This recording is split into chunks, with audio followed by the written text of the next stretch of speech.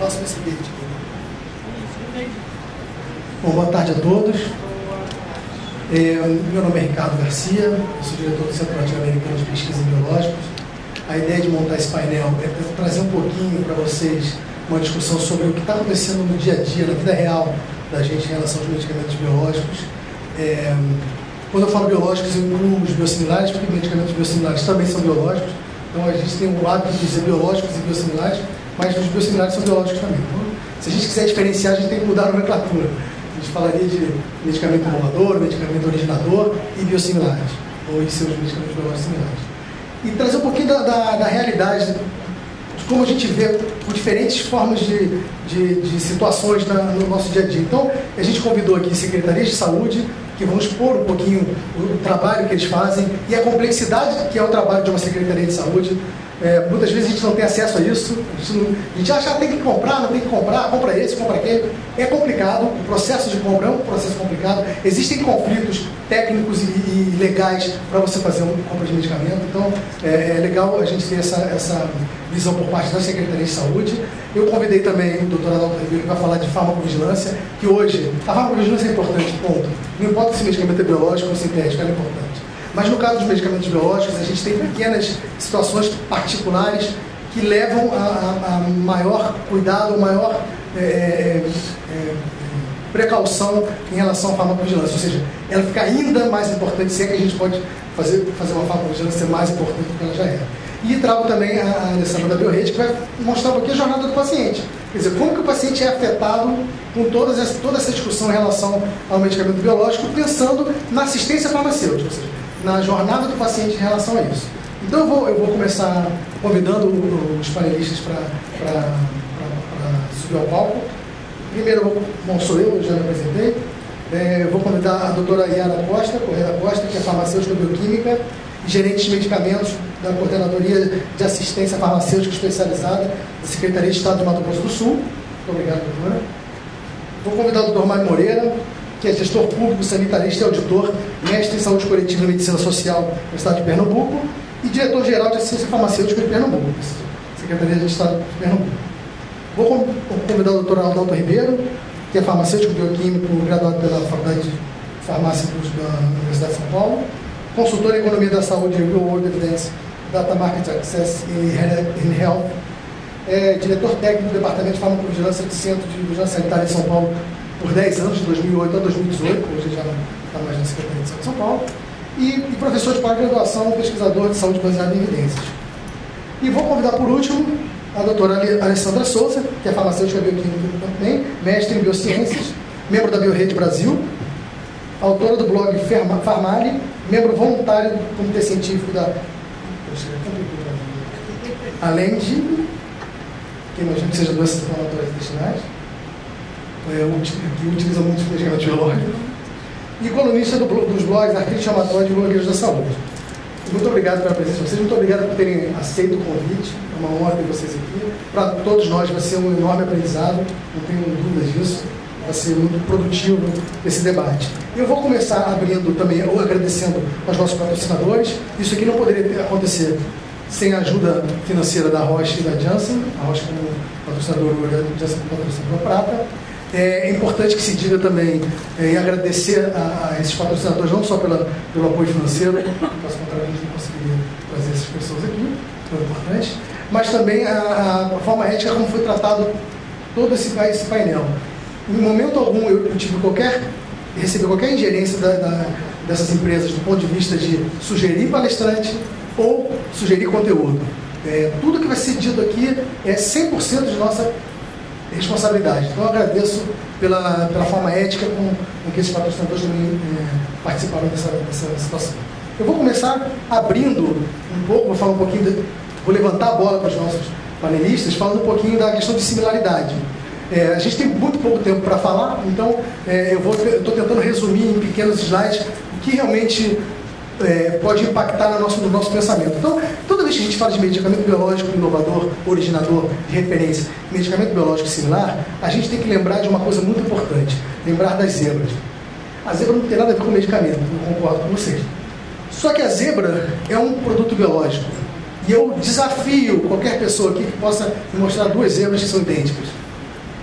Vocês podem olhar alguns segundos a, a imagem e vocês vão ver. A zebra não é idêntica. Então, quando você lembrar de medicamento biológico, de qualquer produto biológico, vocês precisam se lembrar que são produtos que podem ser altamente similares, extremamente similares. No nosso caso, especificamente de medicamentos, podem ter qualidade, eficácia e segurança muito similares.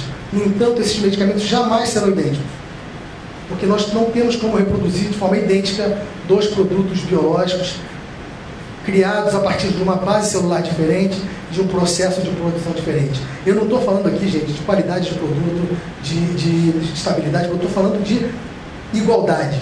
A gente trabalha aqui com similaridade. Então a gente está falando de dois produtos similares. Okay? Então, portanto, a palavra biogenérico não existe. Aliás, a palavra existe, mas ela não se aplica a esses medicamentos que a gente está conversando. Então, não se aplica. Se vocês escutarem alguém falar de biogenérico em algum momento na vida de vocês, por favor, corrijam. Expliquem para essa pessoa que biogenérico não existe. Eles são dois medicamentos biológicos. Eles são cultivados. Eles não são produzidos no final das contas. Enfim, então a gente está falando de biosimilar. Lembrem-se disso, estamos falando de dois produtos que são similares, altamente similares, muito, é, com eficácia muito parecida, que deve ser comprovada de forma é, a garantir qualidade, eficácia e segurança. Esse eu não vou entrar nos detalhes do, das pirâmides, mas é só para vocês saberem que existe uma, um processo de caracterização molecular quando você produz um medicamento biosimilar, que você tem que comparar com o medicamento inovador ou o medicamento originador. Então, todo o processo de aprovação de um medicamento biológico similar, ele é feito por comparabilidade. Então, eu tenho que demonstrar, garantir que, de fato, esses medicamentos são similares, através de estudos analíticos, pré-clínicos, estudos clínicos. Então, existe um exercício de biosimilaridade que eu, que eu faço através desse, desse tipo de estudos. E esse é meu último slide, meu penúltimo, na verdade, e eu trago a, a nossa vida real nosso mundo real. O que, que a gente vê hoje no Brasil com o nosso sistema de compras, com o nosso sistema de saúde? Nós temos um paciente que, no momento que ele tem acesso, ou que o mercado lhe dá acesso a um medicamento biológico similar, que bom que, que tem esse acesso, porque existe uma competitividade, pode aumentar esse acesso por, por diminuição de custo, mas a gente está falando de dois produtos que não são idênticos. Então, o paciente, quando vai receber esse produto numa farmácia de alto custo, ela, ele, se você tem um biosimilar aprovado no mercado, ele tem acesso a possíveis dois produtos, que são similares, no entanto, não idênticos. Se eu tenho, perdão, se você tem dois medicamentos, três medicamentos e quatro, então eu extrapolei para quatro medicamentos similares entre si. Eu queria chamar a atenção para uma, para uma questão específica. Eu não sei como apontar aqui. Dá para ouvir, né? Vou falar alto. Não dá para ouvir no vídeo depois. Então tá bom. Pensem nessas duas bolinhas no final. Vocês têm três bolinhas e pensem nas duas do final. Na verdade, pensem nas quatro em volta da azulzinha. Tem quatro bolinhas em volta da azulzinha, correto? Esses quatro são medicamentos biológicos similares, são biosimilares. Eles foram aprovados através de evidências demonstradas, ou seja, eles mostraram que são que tem qualidade, eficácia e segurança. Eles demonstraram isso. Fizeram um exercício de similaridade, de biosimilaridade, de comparabilidade. No entanto, eles se compararam ao mesmo produto. Todos os quatro biosimilares que eu mostro aqui nessas quatro bolinhas foram comparados com um único inovador. Eu, eu sempre dou exemplo do futebol. Todo jogador que veio depois do Pelé, ele se compara ao Pelé, é natural. Porque o Pelé é a referência no futebol. Então, qualquer jogador que veio Maradona, Zico, é, Messi, qualquer um a gente se compara a Pelé. Então, não estou dizendo que o inovador é o Pelé porque é melhor, é porque é inovador. Então, sempre o exercício de comparabilidade é feito contra um único produto, um único produto de referência. Só existe um único de referência. Então, o que eu quero chamar a atenção de vocês é o seguinte: quando eu tenho quatro biosimilares, ou três, ou dois, aprovados no mercado, eles fizeram esse exercício de comparabilidade com um único produto. Mas eles não fizeram exercício de comparabilidade entre eles. Se eu estou falando aqui que são produtos similares, não idênticos, essa é mais uma preocupação que eu tenho que ter no meu dia a dia, como médico. Estou falando como médico. Se o meu paciente tiver acesso no momento que ele chegar numa farmácia de alto custo, acho é, pouco provável por questões financeiras, mas se ele tiver lá quatro produtos disponíveis, dentre eles o inovador, eu garanto a vocês que, que esses três que não são inovadores foram comparados ao inovador. Então eu demonstraram biosimilaridade com o inovador, mas eles não foram comparados entre eles. Então, se eu, se eu, se eu é, é, colocar o meu, meu paciente diante de uma múltipla troca, onde ele um dia recebe um biosimilar produzido por uma empresa X, no outro dia por uma empresa Y, no outro dia com o inovador, no outro dia com a empresa, com a empresa J, eu estou criando, na verdade, eu estou aumentando a incerteza em relação a esse intercâmbio. Então, é só para chamar a atenção de vocês que isso às vezes passa despercebido. Os medicamentos biológicos similares, apesar de terem comprovado que são bons, eles não foram. É, é, não foi estabelecida uma comparabilidade entre eles. Então, se eu, se eu exponho o meu paciente a uma troca entre eles, eu estou expondo a incertezas. Insisto, não quer dizer qualidade, eficácia e segurança. Quer dizer incerteza de intercâmbio. Medicamentos biológicos são proteínas altamente imunogênicas. Existem riscos associados a, essa, a esse intercâmbio que ainda não, não, a gente ainda não tem evidências robustas que nos, garantir, nos garantem que esse intercâmbio intermitente é seguro. Ainda é possível que a gente tenha no futuro. Tá bom? Então eu encerro a minha, a minha apresentação aqui, só é, mostrando sempre como eu mostro os meus dois produtos biológicos, produzidos por mim e pela minha esposa, que absolutamente não são idênticos, não tem nada de idêntico, são bastante diferentes até. Eu boto isso mais porque eu saudade dela, gosto muito. E gosto de exibir o meu troféu, os meus troféus. É evolução da espécie. É, sem dúvida nenhuma, cara. Darwin sabe tudo. Pior que dizem que uma é parecida comigo, coitada, né? Tadinha.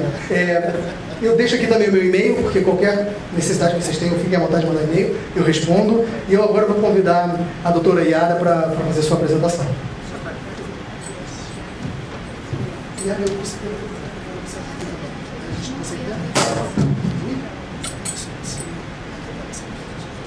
eu acho que usar muito, não dá para mudar nada.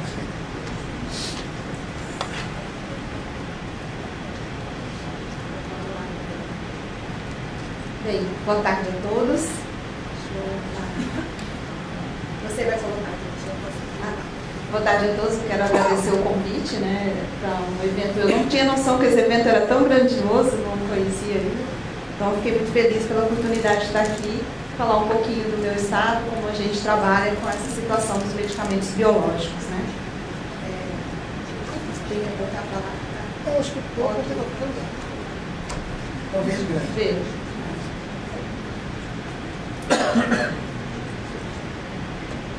Então, assim, embora os medicamentos biológicos a gente venha ouvindo falar desde a década de 80, né, que chegaram aí na década de 80, é, eu particularmente comecei a ouvir falar mais sobre os biológicos de 2005 para cá. Né, 2005, 2006 e 2009 com mais frequência nos últimos, começando a ouvir também sobre os biosimilares e agora nos últimos 3, 4 anos com assim, uma chuva de informações, embora nem todas atendam as nossas expectativas, as nossas necessidades. Então, primeiro momento, quando a gente ouviu falar dos biosimilares, a gente ficou muito animado, né? Então, a primeira coisa foi aquele raciocínio, ligar o raciocínio como foi com os genéricos lá atrás, né? quando chegaram os genéricos. E aí a gente foi é, pensando em economia, em maior acesso, em expandir, mas quando começamos a nos inteirar melhor do que são os medicamentos biológicos, como é a produção, a gente viu que essa ligação não dava para fazer. Né? Que não dá para ter essa comparação, é, a gente não poderia usar o termo biosimilar como a gente usa para os genéricos ou os similares. Né? E começaram a vir as preocupações. E, lógico, primeira coisa foi o que o Ricardo até comentou agora, que a maior preocupação nossa é a intercambialidade que é para se resolver isso a gente precisa de estudos mais é, estudos robustos, estudos reais, né, com evidências do que a gente não tem ainda e mais a identificação dos efeitos adversos, porque a gente tem uma população, é, os nossos usuários de medicamentos eles não têm é, uma característica de procurar saber quais são os efeitos adversos, reconhecer esses efeitos adversos, né? É, relatar esses efeitos adversos até para o seu próprio médico, ele acha assim, ah, isso faz parte do tratamento. Então é uma grande dificuldade da gente.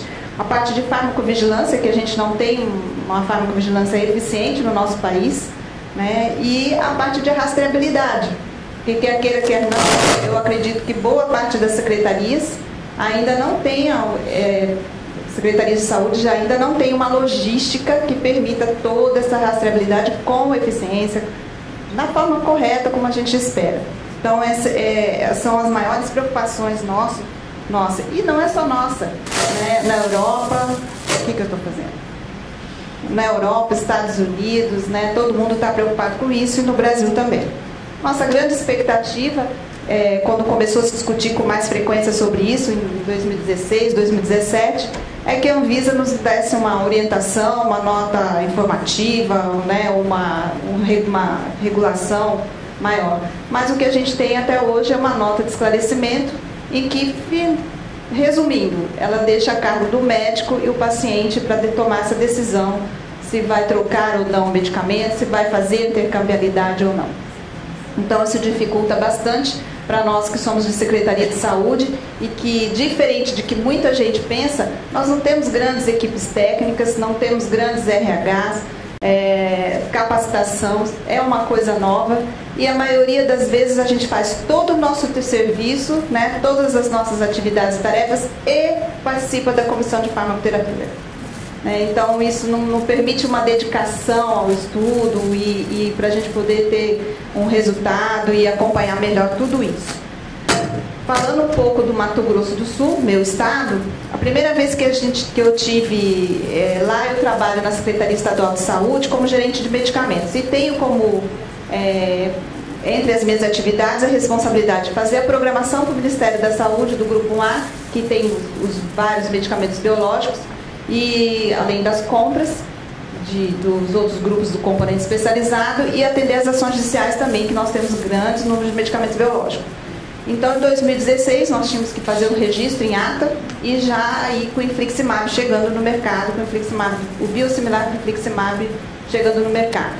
Então, a alternativa que eu consegui à época foi é, conseguir registrar em ata de registro de preço um lote para o biológico e um lote para o biosimilar. Lógico que houve impugnação da, do laboratório e a gente explicou que especificamente era uma ata para atender ação judicial, foi a forma que a gente conseguiu é, justificar isso né, para Tribunal de Contas e tudo mais. É, nós temos uma característica no Estado diferente de muitos outros, que nos outros estados tem protocolos clínicos estaduais, é, então eles compram os biológicos em maior quantidade, maior número, diferente do meu estado. A gente só tem ou atende o componente especializado ou atende judicialização. E a época, e ainda continua assim, eu tenho 11 pacientes de infliximab. Então, o custo, e ainda complementando dose que eles retiravam no, no componente especializado. Então, isso me favorecia muito, porque o impacto financeiro também não era muito grande. Então, me deu um tempo para dar, eu me preparar, se caso chegasse algum paciente com tratamento totalmente feito judicializado, a intenção era começar com biosimilar, com autorização do médico, é claro, mas isso, infelizmente, não aconteceu durante toda a vigência da ata. E na renovação, na substituição dessa ata, nós não tivemos o laboratório fabricante do biosimilar concorrendo. Então, a gente hoje mantém uma ata de registro, mas também só com o medicamento biológico. É, e assim, lógico que o Estado via que você tendo os dois lotes diferenciados ali registrados, diminuiria a concorrência mas nós não nos vimos seguros para assumir essa responsabilidade. E, e nesse, eu, a gente, mesmo ainda sem a orientação da, da Anvisa, a gente não se viu em condições de decidir isso sozinho. Né? Então mantemos dessa forma o registro dos dois lotes. É, e assim, para terminar, né, a gente continua fazendo da mesma forma, a secretaria continua com essa mesma posição, a decisão é do médico junto com o seu paciente é, sobre qual medicamento seria mais adequado. E a gente observa a nota da Anvisa de esclarecimento com a orientação, né, então seguindo essa recomendação. E estamos agora do grande desafio, que é a entrada do Eterrecept biosimilar fornecido pelo Ministério da Saúde.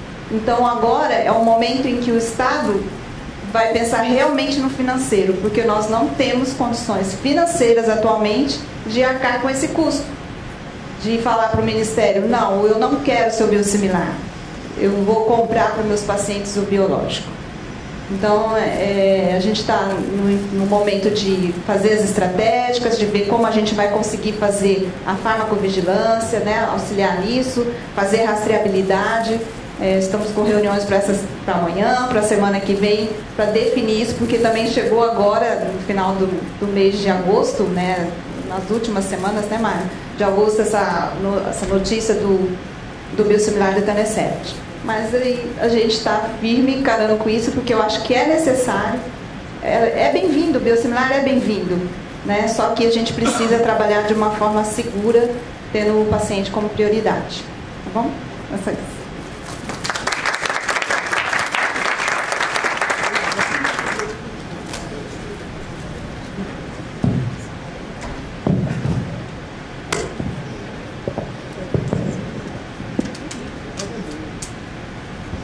obrigado, doutor Yara. Muito obrigado por se ligarem aqui.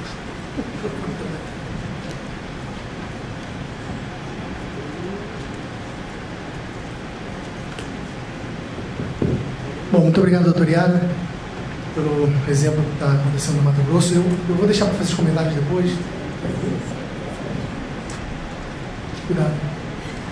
É, eu vou chamar então o doutor Mário para fazer a apresentação, falar um pouquinho sobre o que o dia a dia, o que acontece hoje na Secretaria de Saúde de Pernambuco em relação à ciência farmacêutica prognóstica.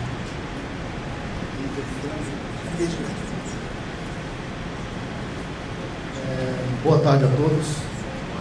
É, queria cumprimentar o professor Mozart, que é assessor da Secretaria de Saúde de Pernambuco, e dizer que com satisfação a gente que faz a, saúde de Pernambuco está aqui nesse momento.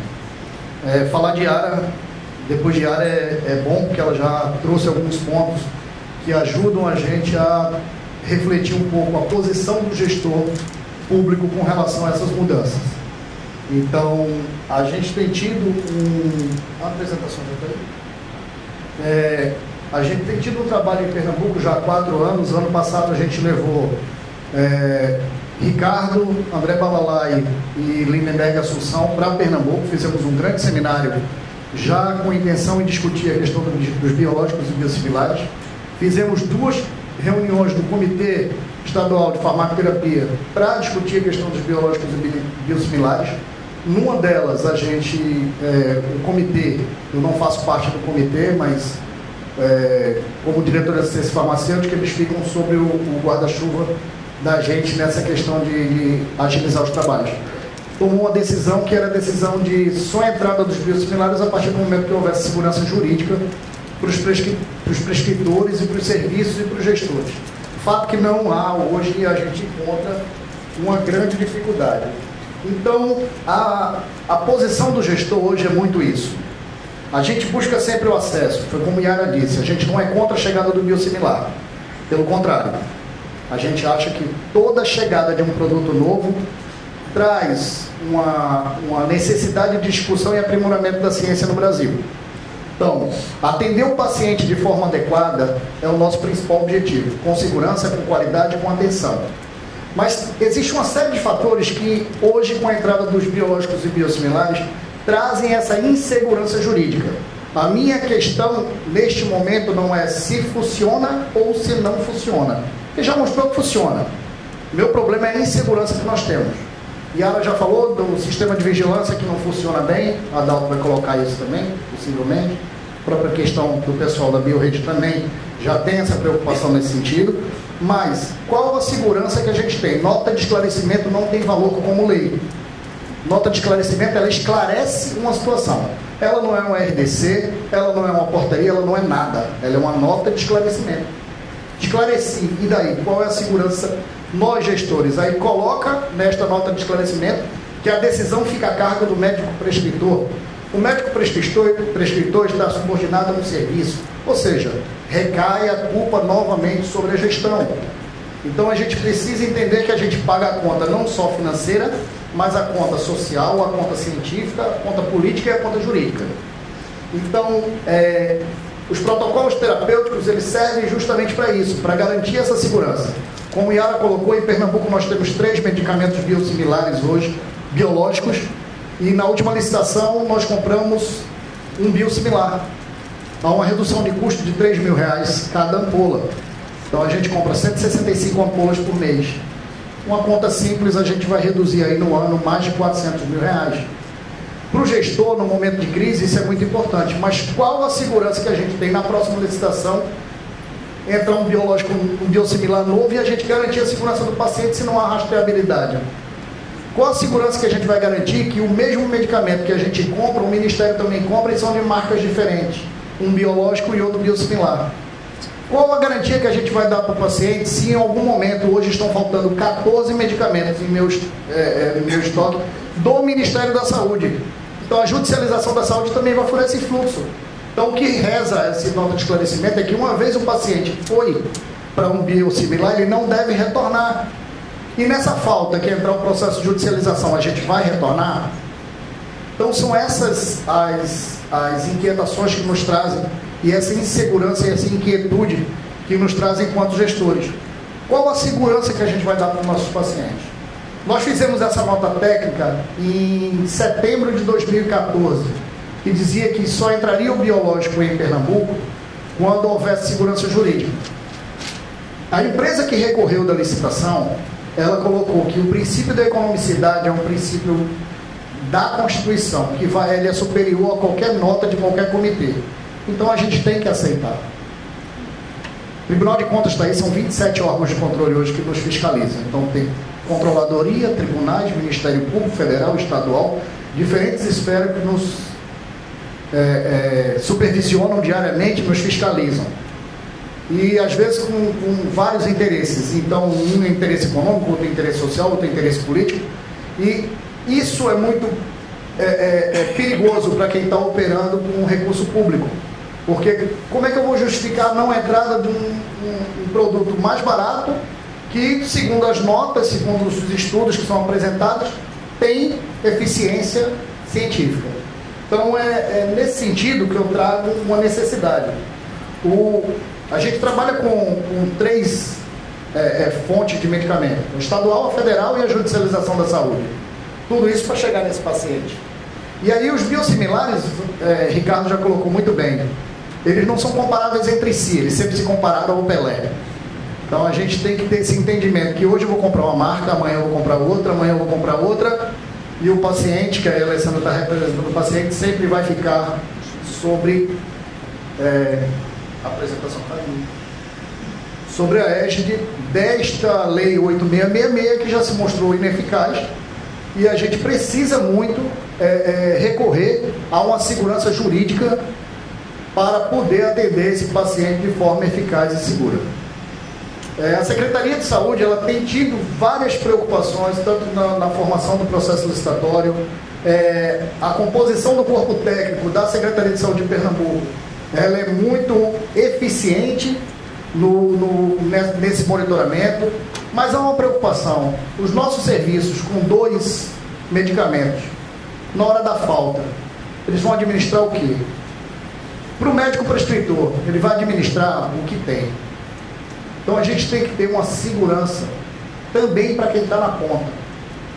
A gente tem que ter a segurança da gestão, a gente tem que ter a segurança do paciente, a gente tem que ter a segurança para o prescritor para quem está administrando para os hospitais, para todo mundo. Então, hoje, neste momento, a gente não encontra essa segurança jurídica e técnica científica na legislação brasileira. Não há estudos que evidenciem qualquer forma. A gente, a primeira apresentação que eu assisti do, do Ricardo faz uns quatro anos atrás, aqui em São Paulo.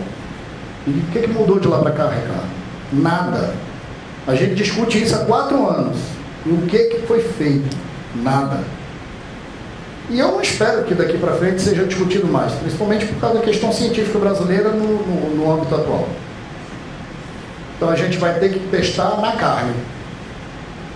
E respondendo juridicamente por algumas ações, tendo que responder tecnicamente por outras, mas acima de tudo buscando a segurança desse paciente. Então a gente em Pernambuco trabalha com essa, essas normas técnicas, a gente busca sempre tudo por protocolo, como o Yara colocou. Por mais que seja é, mais caro gerenciar dessa forma, mas uma forma de garantir o acesso de forma qualificada. A gente tem total guia de orientação usuários, inclusive dos biológicos e biosimilares. Isso está disponível para qualquer pessoa agora, se quiser pegar seu smartphone e acessar. O site é farmácia.pe.gov.br, é, de domínio público. Lá nós temos as nossas normas técnicas tem dizendo como foi incorporado, por que foi incorporado, o que, que o, paciente, o paciente precisa para ter acesso a esse medicamento. Então, é, em Pernambuco nós tivemos alguns problemas já com relação à segurança do paciente, eu acho que isso vai funcionar para adulto. É, a toxina botulínica foi uma, a chegada da toxina botulínica japonesa do Ministério da Saúde, os médicos diziam que não iam prescrever ela, porque ela não tinha eficiência, mas em nenhum momento eles usaram o sistema do Ministério para notificar. Depois teve a bronca nacional da asparaginase, que também foi um problema. E o terceiro problema que nós estamos enfrentando agora é o trastuzumab. Né? Pernambuco já tem um protocolo há mais de seis anos, agora que o Ministério veio incorporar, e o Ministério só incorpora por um ciclo. O protocolo pernambucano, ele vai, a gente já tem paciente no 23º ciclo, então o paciente vai para o do Ministério e depois volta para o da gente. O da, já são apresentações diferentes. O Ministério é 150, da gente é 440. E é de 600 subcutânea. Então, já tem esse fluxo de, de mudança. E então a gente está tentando de toda forma minimizar esse problema. Minimizar, minimizar de forma ética, minimizar com respeito aos nossos pacientes. É, Pernambuco hoje tem 10 centros de oncologia que trabalham diuturnamente com esses pacientes com infusão de medicamentos. Nós temos mais seis centros de infusão e estamos é, descentralizando outros agora e sempre com a preocupação da segurança do paciente. Então a gente precisa ter muita serenidade, apoio de todas as categorias profissionais, apoio de todos os centros de estudos, apoio dos usuários, para que a gente possa ter essa segurança jurídica no, no, na legalidade, no funcionamento, garantindo segurança e, acima de tudo, garantindo qualidade ao nosso paciente. Obrigado.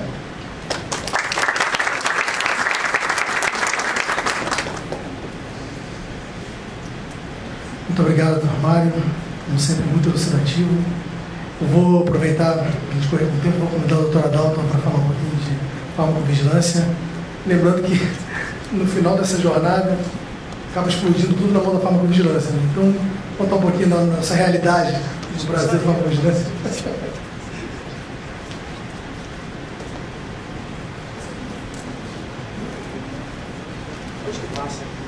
É no verde, verde grande, nossa. Pessoal, boa tarde, tudo bem? É, primeiramente, queria agradecer o Ricardo, né, que já é um amigo, né? E além de amigo, ele é um grande cientista e também torcedor do Fluminense, ou seja, um forte. Bom, bom então, falando aqui um pouquinho só dos meus conflitos de interesse, eu trabalhei 10 anos na Secretaria de Estado da Saúde de São Paulo, mais especificamente é, coordenando a farmacovigilância e né, dentro do, do, da lógica da vigilância sanitária. É, é, agora, atualmente, eu sou consultor de economia da saúde e, só para falar um pouquinho dos conflitos de interesse, na empresa que eu trabalho como empresa de consultoria, nós atendemos é, indústrias farmacêuticas que trabalham com medicamento referência e os biosimilares. Então você vê o tamanho do conflito de interesse meu aqui nessa apresentação e assim eu vou focar em aspectos regulatórios, técnicos, científicos, sem tá? É, para evitar qualquer tipo de viés, tudo bem? Bom, a primeira é, participação que eu tive dentro dessa questão de biosimilares foi em 2011, foi onde eu encontrei o Ricardo no evento no México da PAREF, e que estava se discutindo, a portaria tinha sido publicada aqui no Brasil em 2010, e estava se discutindo isso, né? a questão do biosimilar. E dentro da, da, lá em 2011 já se falava da questão da intercambiabilidade, mas o que nos chamou a atenção naquele momento, não só é, da minha pessoa lá representando o Brasil, lá do regulatório, e alguns colegas da América Latina, era a questão do desvio de qualidade ou uma falta de eficácia. Talvez não por preconceito, mas por preconceito, mas vem cá, será que vai funcionar corretamente? E para isso existe uma lei que é de 1977 que fala: se houver uma suspeita de desvio de qualidade, uma ineficácia por desvio de qualidade, é, tem que ser a, avaliado dentro de um laboratório oficial, ou seja, Adolfo Nunes e NCQS. Não vale no laboratório do detentor do registro do medicamento. Então o que eu quero dizer com isso? Será que lá tem essa tecnologia para avaliar uma molécula nessa complexidade? Hoje, como eu não estou mais no governo, eu posso falar que não. Antes era uma saia justa. Tá? Mas não tem. Então, se tiver uma suspeita de um desvio de qualidade, isso pode acontecer, isso é comum no mundo da farmacovigilância, não tem como separar as duas coisas, porque uma falta de eficácia está vinculada a uma questão de suspeita de desvio da qualidade, não que seja só isso, mas pode estar. Não tem essa, hoje, a tecnologia para fazer essa avaliação. E se não tem, por força de lei, como que você vai fazer? Não tem valor. Tá? Então é isso que nós temos nesse momento. E essa lei é de 77, o primeiro medicamento por tecnologia do DNA recombinante é de 78. Então a lei foi criada antes de se ter o medicamento é, por tecnologia do DNA recombinante. Então, por muito tempo, se falou na questão da intercambiabilidade, desde aqui no Brasil da RDC 55 de 2010, e a gente tinha como modelo, isso foi apresentado pelo Ricardo, é, a questão desse estudo aqui, né, que era o EGAMET, que era um estudo para psoríase que mostrava um cenário ideal, né, quatro braços tal. Então, isso para a farmacovigilância seria lindo, porque você ia ter uma segurança muito forte para falar, o medicamento é intercambiável. Mas esse estudo aqui, desse tamanho, com esse tanto de pacientes, é, será que é possível fazer isso? O custo disso depois vem para onde? Para o medicamento, vem para o sistema de saúde, vem para o paciente. Tá? E em relação né, ao foco do nosso evento aqui, que é oncologia, será que dá para fazer um estudo desse é, em oncologia, talvez com uma doença que tem uma sobrevida mais curta? Tá? Para psoríase, é possível, mas talvez não seja possível para uma doença é, mais grave com uma sobrevida menor. Bom, aí no meio do caminho apareceu o North Swift. Esse estudo é, não é um estudo de intercambiabilidade, é um estudo de troca. Aí vinha essa questão. Mas espera aí, intercambiabilidade é uma propriedade do medicamento. É um estudo que você faz para falar, o medicamento é intercambiável. Swift é uma troca, que pode ser médica ou, de repente, pode ser não médica.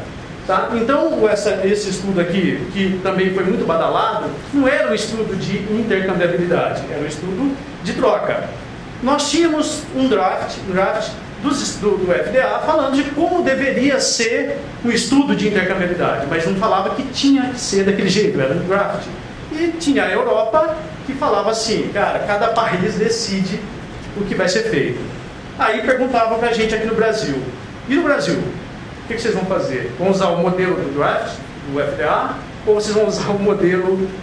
E não tinha essa resposta. Aí, quando eu trabalhava é, exclusivamente com farmacovigilância, a minha pergunta assim: a farmacovigilância vai ser muito importante nesse processo. Pô, legal, né? Você não decide nada e joga nas costas da farmacovigilância, que os meus colegas aqui já falaram que não funciona tão bem assim, né? Tá?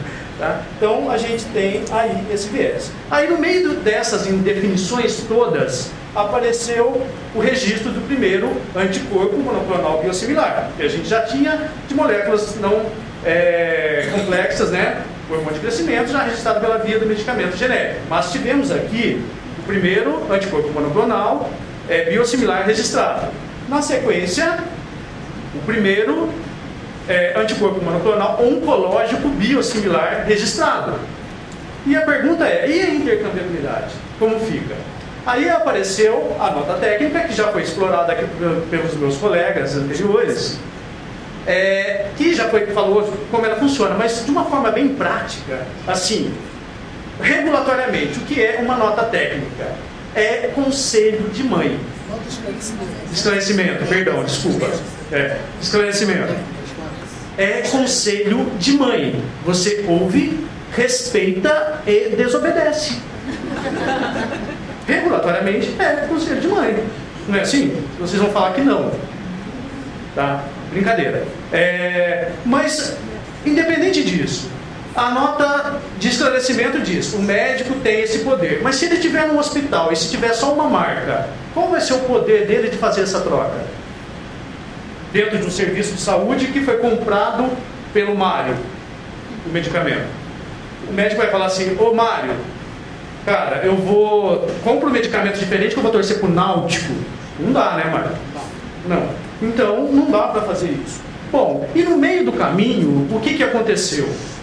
Com a lei 8666, que já restringe para você ter que comprar pelo menor preço e não está envolvido ali a questão de menor custo e sim menor preço, veio é, a PEC que congela os gastos em saúde por 20 anos, né, fazendo aquela correção. Então você já tem mais um fator que fala assim, peraí, né, vai ter que comprar pelo menor preço. E diante desse cenário, qual é a chance da gente estabelecer hoje no Brasil essa intercambiabilidade dentro desse cenário?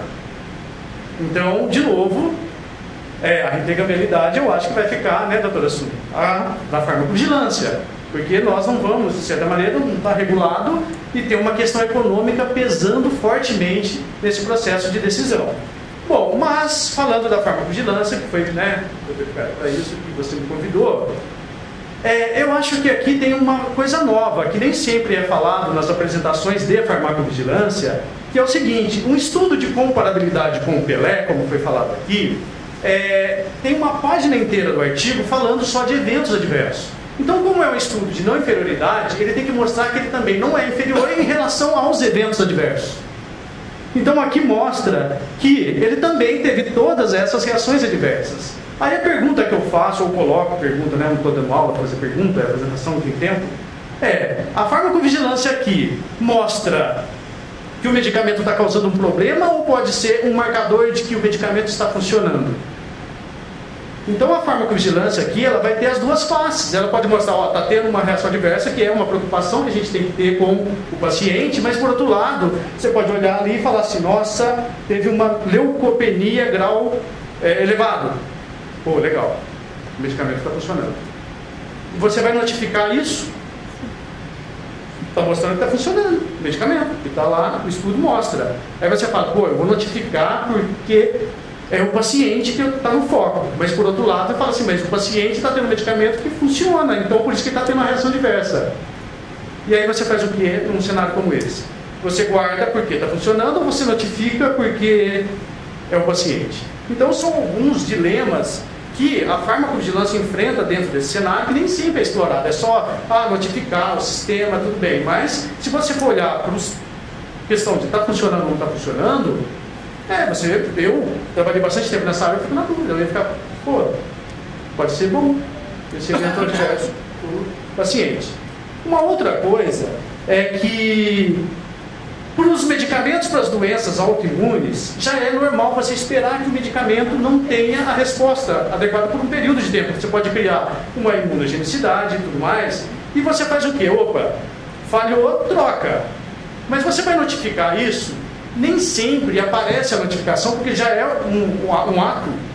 Se falha, você troca por outro. Isso está definido aqui no protocolo. Então você faz a troca naturalmente. Mas a minha pergunta é: e se falhar agora com o tratamento oncológico? E for a única opção, você não tiver aqui um fluxograma, junta esse, muda, vai para o outro tal. É esse, e se falhar, você faz o quê? Então, será que dá para a gente pensar em imunogenicidade da mesma forma que a gente pensa para o medicamento para uma doença autoimune e oncológica? Então você fica nesse dilema também, porque se falhar aqui, você vai falar, vou mudar, mas vai mudar para qual? É a última etapa. Você vai falar, não, preciso agora então do medicamento referência, se for um similar. Como você vai fazer numa situação como essa aqui? E mais que isso, quando há uma falha ou uma suspeita de uma falha terapêutica, o que acontece? Você não tem que olhar só para o medicamento, você vai ter que olhar para quem? Para o paciente. Você vai avaliar o paciente que tem uma doença e está usando o medicamento. Você não pode partir do princípio que realmente ah, não teve a resposta terapêutica, é o medicamento.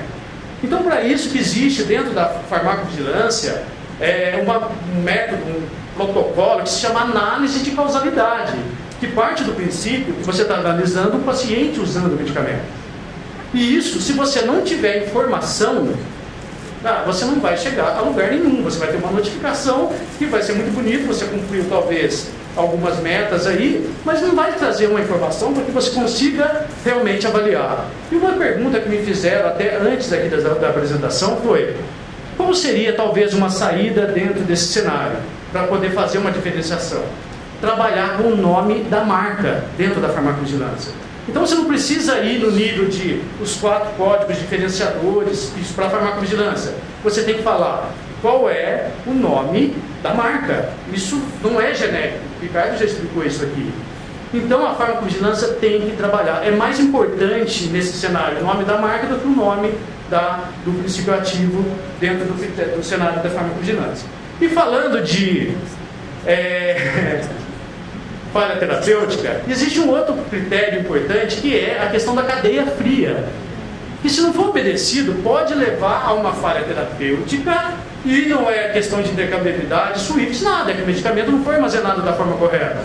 E eu escolhi essa figura aqui não por acaso, que foi uma matéria, uma reportagem da Globo sobre vacina, que é um medicamento biológico. Geralmente, quando se tem uma matéria como a Globo, o pessoal prepara um ambiente para. Né? E tem um recado ali na geladeira, né? Quem pegou o doce de buriti na terça-feira, devolver o pote. Cara, se você está guardando um medicamento biológico junto com um doce de buriti, a chance de dar ruim é alta, tá? E aqui é, me chama a atenção que eles prepararam o ambiente para matéria da Globo e o doce de Buriti.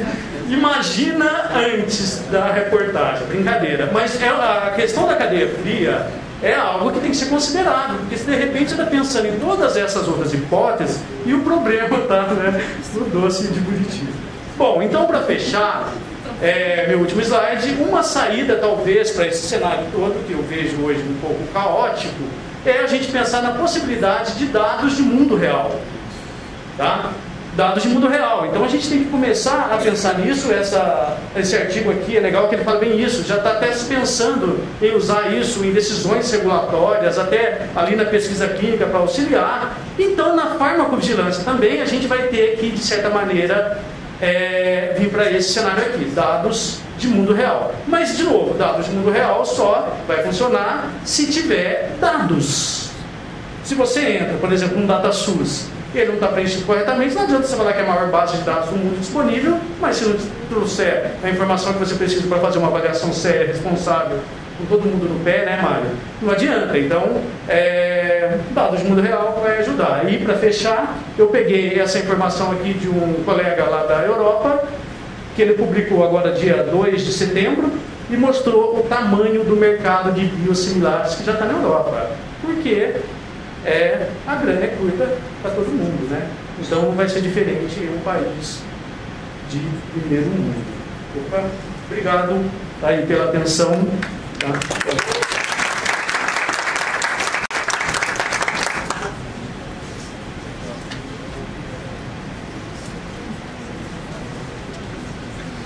Muito obrigado, doutora Dalton. Eu tinha um monte de notas de esclarecimento para fazer depois disso. Vou fazer só duas. Uma é que ser fluminense é um pedigree, é para poucos. Realmente é para poucos, né? São poucos. É. E a outra nota de esclarecimento importante é que, assim como o doutor Adalto, eu também sou, eu esqueci de fazer isso, uma declaração de conflito de interesse, eu também sou frequentemente convidado para palestras, tanto de, por empresas que produzem biológicos inovadores, quanto biológicos similares. Então, acho que é importante deixar isso claro também.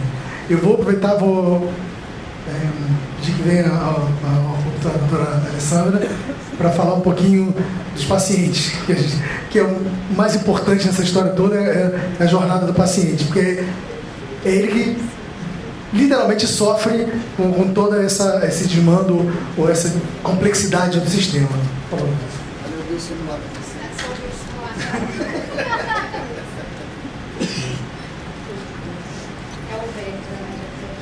É, boa tarde.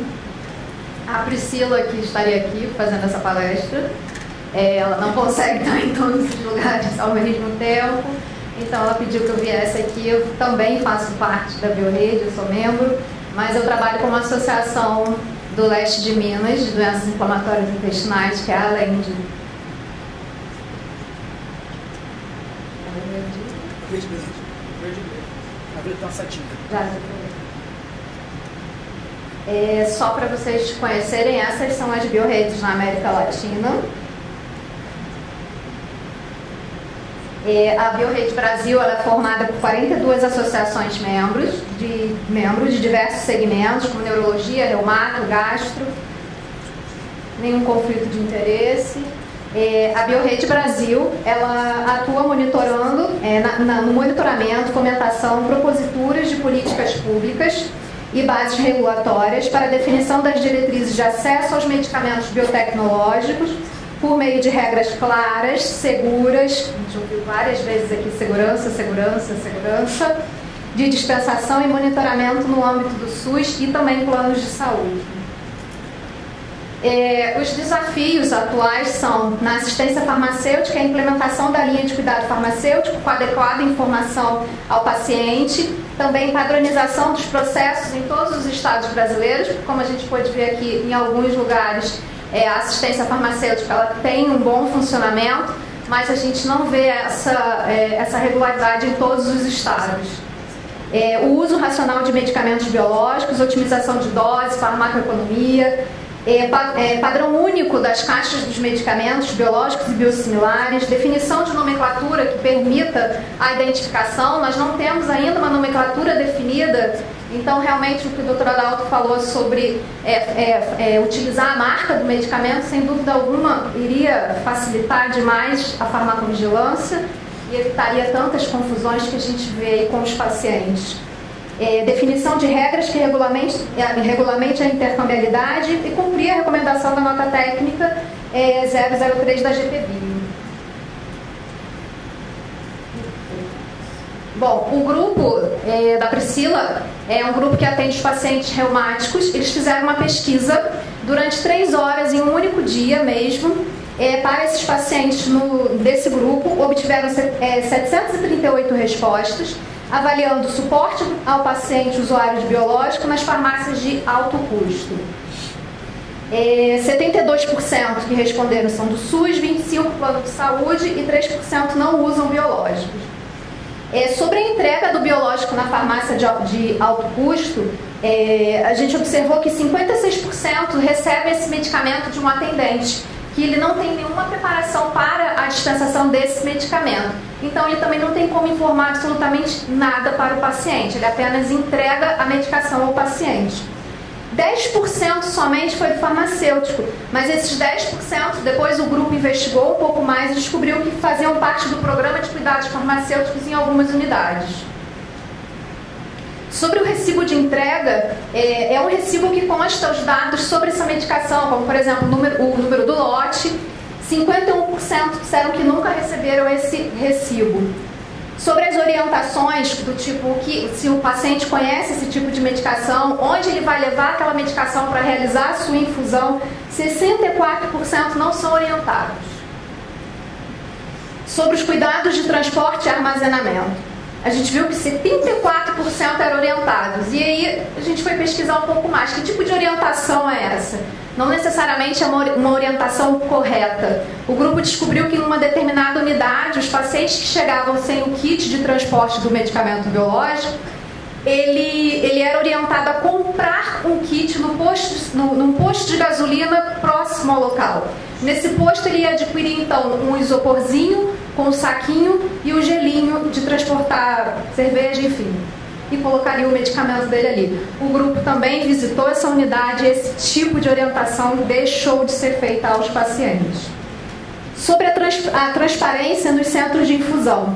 25% visualiza o preparo, 47% fazem a autoaplicação e 28% não visualizam. É, o interessante disso aqui é que o grupo também é, descobriu que em uma determinada operadora de saúde eram feitas diluições dos medicamentos e essas diluições eram então transportadas para os seus centros de infusão. Informação na farmácia de alto custo sobre biosimilares. 100% nunca receberam. Sempre que eu, Alessandra, faço alguma palestra, eu também coloco no, na minha rede social umas pesquisinhas muito rápidas no meu stories e realmente eu percebo que os pacientes ainda não sabem o que é um biosimilar. Tem paciente que não sabe nem que está usando o, o, biológico. Ele cita o nome para mim e eu explico a ele que sim, você está usando um biológico. É, o que os pacientes pensam sobre troca automática? Eles consideram que somente o médico pode definir a troca do seu, é, do seu tratamento. Isso tudo, é, é, é, essa, essa resposta que também demonstra uma insegurança, insegurança foi por causa do, de um episódio com um medicamento genérico, a que teve um grande problema com esses pacientes, então isso deixou um rastro de insegurança. Então, quando eles pensam em troca de medicamento e como eles ainda é, entendem o biosimilar como genérico, já que eles não sabem nem o que é o biosimilar, Então, ou seja, uma confusão em cima de outra confusão que gera insegurança e que certamente isso vai afetar no tratamento. É, as redes sociais é, do blog Artrite Reumatoide, da BioRede também, recebem diariamente diversos relatos de pacientes com efeitos adversos. O nosso trabalho para contribuir com a orientação do paciente, até mesmo com a farmacovigilância, é orientar os pacientes sempre a comunicarem o médico, fazerem notificação agora, agora no Vigimed é, e também comunicarem o fabricante. Sobre, é, a, a, sobre, sobre aqui, perdão, desculpa. Sobre a linha de cuidado farmacêutico em relação ao uso racional de medicamento. No grupo, a gente encontra diversos episódios de pacientes fazendo doação de medicamentos. É, isso até é, há, algum, há, um, um pouco tempo agora o Facebook começou a bloquear isso dentro dos grupos, parece que não pode mais fazer é, esse tipo de, de procedimento. Mas enfim, são muitas, muitas doações de medicamentos.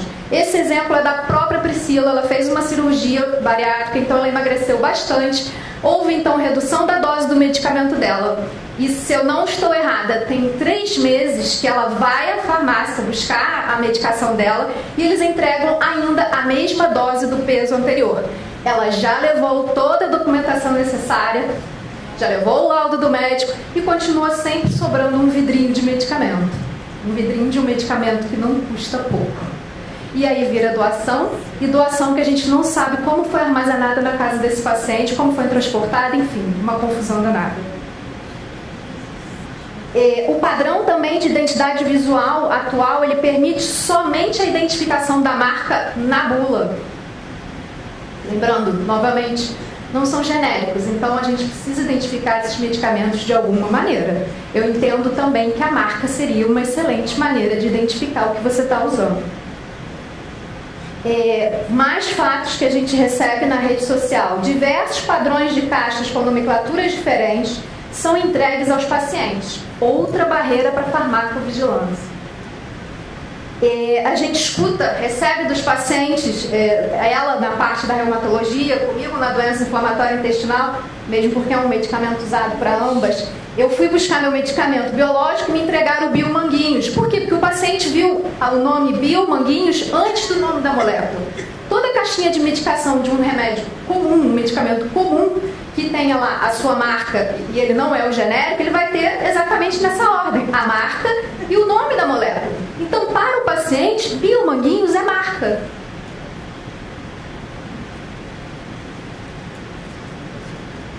E como o doutor Ricardo já mostrou também, é, a gente está sim é, buscando, é, o Ministério da Saúde tem feito as compras baseado no valor. Então, em breve nós vamos ter mais opções de biosimilares. Então, o próximo biosimilar que chegar com o melhor preço será o biosimilar que vai fazer parte do tratamento do paciente que estava utilizando o biosimilar 1. E, de repente, numa concorrência, volta para o biológico originador. Bom, é, atualmente, também já foi falada, a nota técnica que, a, que comunica sobre a entrada do biosimilar, o etanercept. Isso aí é uma troca automática porque os pacientes não vão ter, não vão ter a opção de escolher o que ele vai usar. Muito menos o médico vai ter essa opção, porque a compra vai ser esta. Compramos isto e é isto que temos para vocês. Na próxima licitação, compramos o que tem o melhor preço. É, esse é um vídeo que demonstra a importância de uma linha de cuidado farmacêutico, da atenção farmacêutica, que faz, faz parte da, de todo o ciclo da assistência farmacêutica. É, só clicar aqui nele para ele. Tá. My asthma. They said they'd fix it, but it didn't make any difference at all. Well, sometimes doctors make mistakes. Anna, you need to try twice as hard to fix them. Are you using an inhaler? All the time. Go through one a week. You sure you're using it right? Do I look like an idiot? No. Why don't you show me how your inhaler works?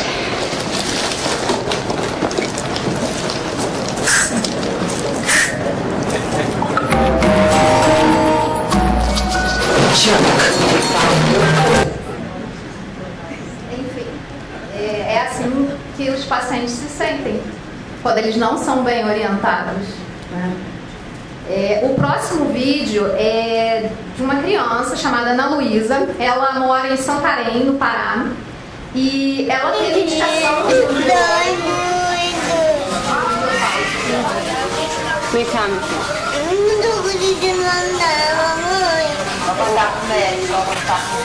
Você não tá conseguindo andar, filha?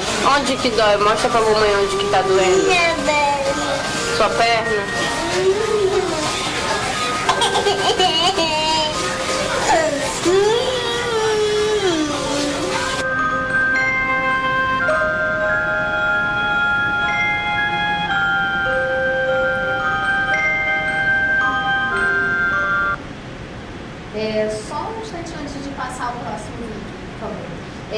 então, a Ana Luísa, na cidade dela, ela não tem um, pediatra, um reumato pediatra que faça o atendimento para ela, então ela foi para outra cidade para receber o tratamento adequado. E, e ao retornar à sua cidade com a indicação do biológico, de acordo com o PCDT, para a idade dela, enfim, a, a cidade dela disse que não forne- forneceria essa medicação porque a Ana Luísa foi atendida por um, por um médico de outra cidade, o que contraria a lei 8080 do SUS da universalidade de atendimento. E após as ações do grupo, a Ana Luísa conseguiu a, a medicação dela, porque isso foi parar na rede social, enfim, e o grupo entrou também em contato com a secretaria do, do estado dela. Opa! Esse. Esse é a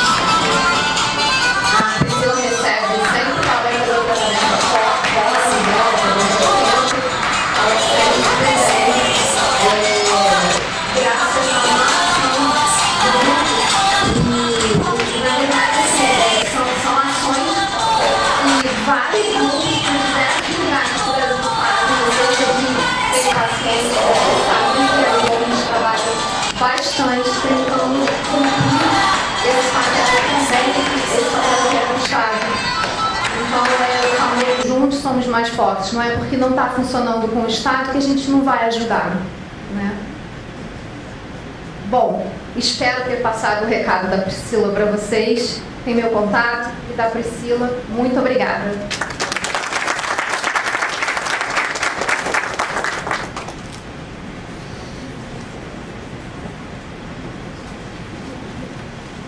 Muito obrigado, Alessandra.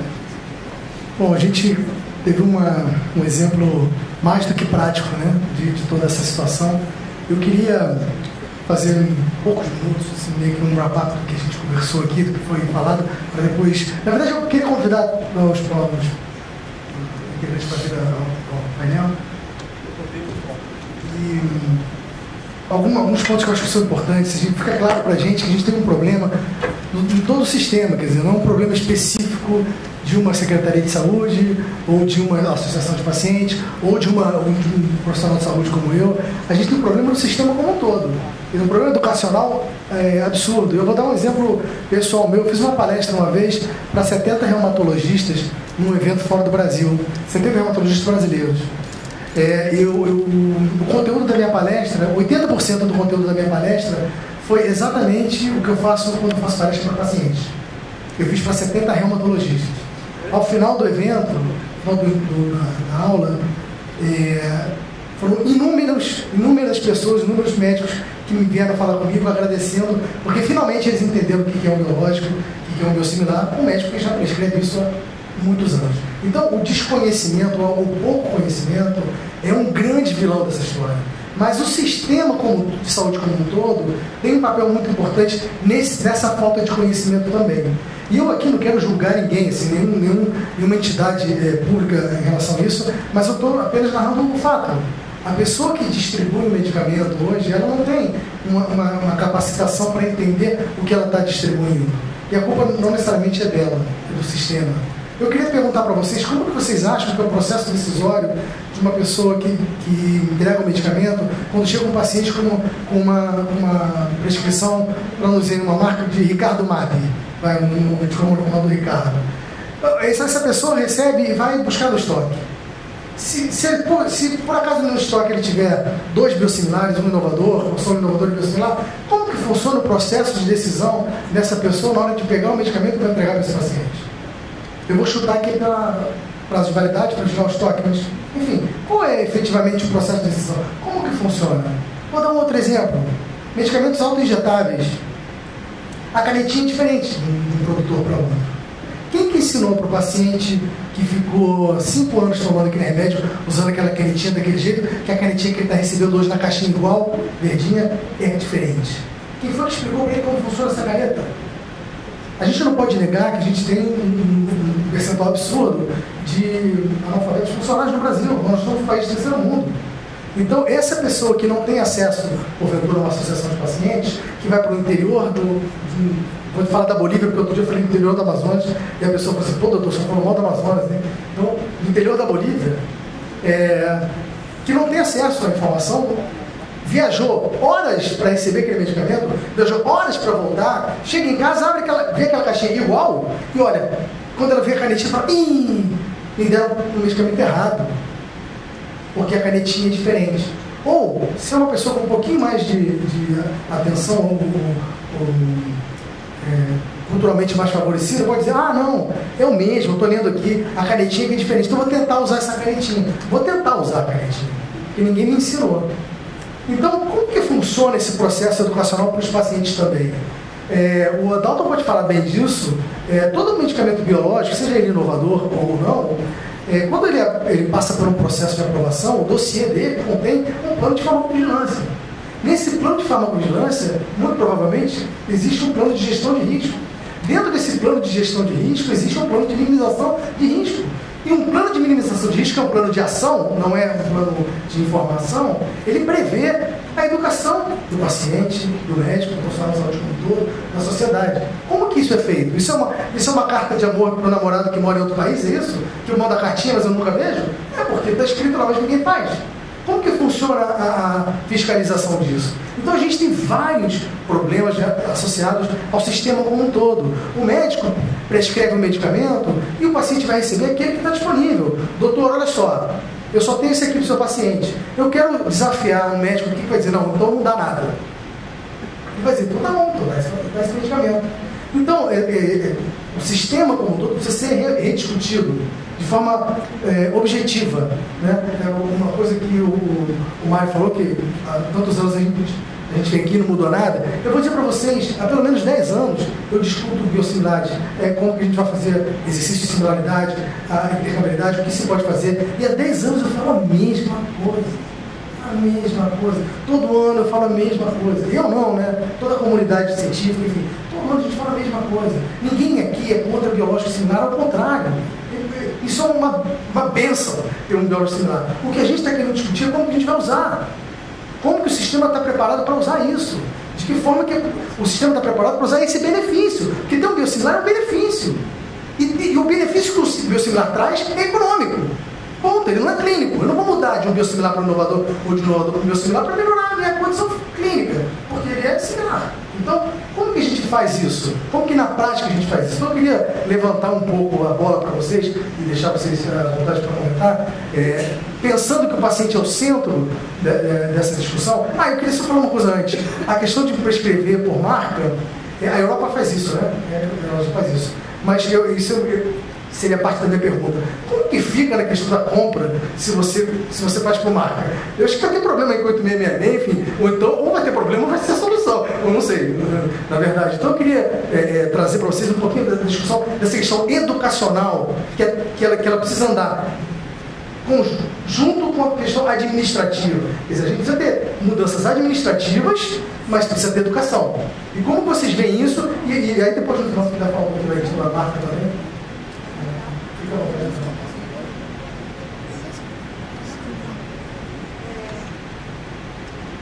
Tenta.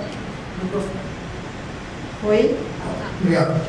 É, é, o, é o grande desafio da gente agora, agora esse, né? É, quando a gente pensa no Etanesept, por exemplo, que está chegando aí com os biosimilares fornecidos pelo Ministério da Saúde, é a nossa maior preocupação. No Mato Grosso do Sul, quando a gente fala em ação judicial, medicamentos biológicos ou biosimilares que eu possa atender, é a ação judicial lá é muito direcionada. Né? A compra é exclusiva para aquele paciente, então a gente consegue regular, ter um controle melhor sobre isso. A preocupação maior agora está com as chegadas dos biosimilares fornecidos pelo Ministério da Saúde. Primeiro que o código de procedimento, tanto para o biológico como para o biosimilar, é o mesmo. Então, a entrada no nosso sistema, nos, nos nossos estoques, seria a mesma. Né? Então, é uma das coisas que a gente já vem cobrando o Ministério, né? É, falando, conversando com eles sobre isso, porque nós teríamos que ter códigos de procedimentos diferentes. E o sistema, o próprio sistema Horus, né, que é do Ministério, ele não faz isso. É uma entrada pelo princípio ativo ali pronto. Então, a rastreabilidade seria.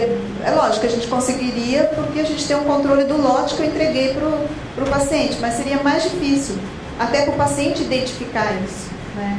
para ele é, pensar. Na outra coisa da, na farmacovigilância que a gente conversou, é, mesmo pro, com a melhora da, da forma de, né, pelo Visamed, é, Vigimed, ainda é bem complicado, né? E o Ministério está colocando aí uma outra forma farmacêutica que talvez seja para facilitar. Não, a gente não conseguiu ainda entender qual o porquê, outra linha de notificação. Então, é, vai ser um grande desafio. Então, no meu estado, por exemplo, que eu tenho poucos pacientes de etanercept, eu tenho 306 pacientes, é, a gente vai ter que nomear um a um e deixar a listinha lá para cada atendente qual que eu vou entregar. Mas é uma. E a compra por marca, como o Estado não tem protocolo estadual, eu consigo justificar como a, na judicialização a prescrição do médico exigindo a marca. Então eu consigo justificar dessa forma. É, Ricardo, só aproveitando a questão da marca que eu falei, que é extremamente importante para a farmacovigilância ter esse tipo de identificação, é, nós tivemos, isso foi tornado público na imprensa, né, então não estou falando de nenhuma informação confidencial da vigilância sanitária, é, que também tem um outro viés. Né? Por exemplo, teve um estado que comprou uma marca de um hormônio de crescimento e assim que essa marca foi adquirida, choveram notificações. E uma justificativa foi, pô, até então nunca teve nenhuma experiência de eventos adversos com o hormônio de crescimento. Mas vem cá, não teve, porque já estava acostumado com aquela marca, Chegou uma marca diferente, isso chamou atenção e era um padrão de reação diversa que acontecia antes, mas ninguém dava atenção porque a marca era sempre a mesma. É, e, ou de repente pode ser, uma das coisas que foram levantadas, boicote. Porque quando tem uma situação como essa, várias notificações, e você vai fazer uma investigação de farmacovigilância, você vai ver de onde que vieram as notificações, se é do mesmo serviço e se é dos mesmos prescritores. E a gente percebeu, era no outro estado, mas acompanhando as notificações, que eram concentradas num único local. Só que isso levou a uma demanda para o estado todo, tá? E acabou chegando aqui em São Paulo, porque o detentor do registro medicamento estava aqui, e vieram todas aquelas perguntas que a gente estava fazendo. Rastreabilidade, cadeia fria, tudo isso. E eles falam, não, mas vai ter que mandar para fazer a análise fiscal. Eu falei, mas ninguém vai conseguir fazer a análise fiscal. Mas como que vai resolver isso agora? Aí, né, dentro disso tudo, aquela pergunta, antes de receber as notificações. Mas qual é a reação adversa que chamou tanta atenção? Uma reação alérgica. Grave? Não. Bom, de repente é a troca do recipiente que pode ter causado isso, mas foi um transtorno imenso, porque mudou a marca e era reação alérgica. Tá? É, então, às vezes, tem esse impacto. E até hoje eu saí lá do, do governo e não tive a resposta de o que aconteceu realmente, aonde que estava o problema. Então, é, o Estado teve que cancelar aquela compra, foi toda devolvida, tá? comprou uma outra marca, enfim, e tudo isso sem ter uma resposta. O que aconteceu?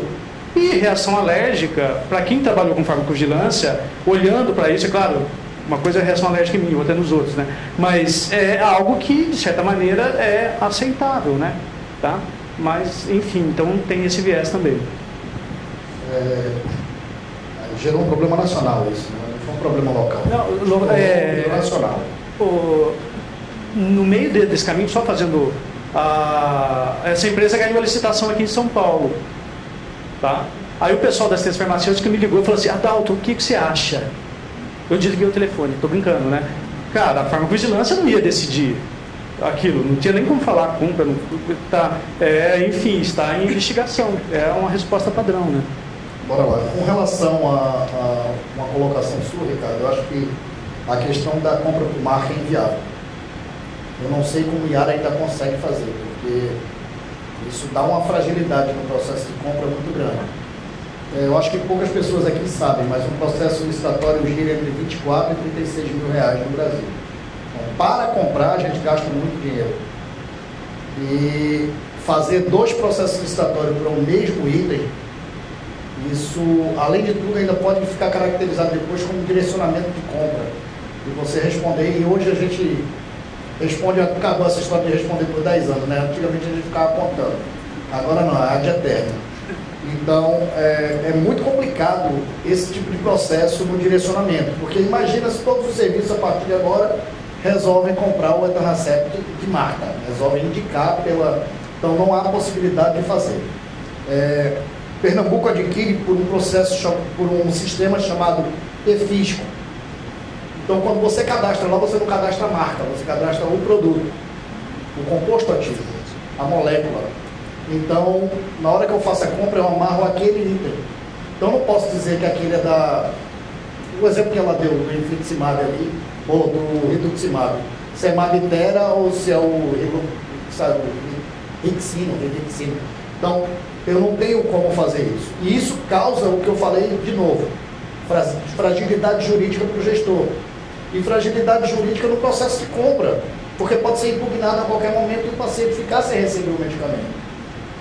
É, quando, quando fala de, de, de, processo licitatório, processo licitatório hoje envolve seis etapas muito importantes e a formação do edital é uma etapa muito importante, é, é a etapa mais importante do processo licitatório. Se a gente não amarrar direitinho, a gente vai continuar a ter essa fragilidade. A minha preocupação foi no ponto que você falou, a 8666, ela não pensou nisso, é uma lei de 93.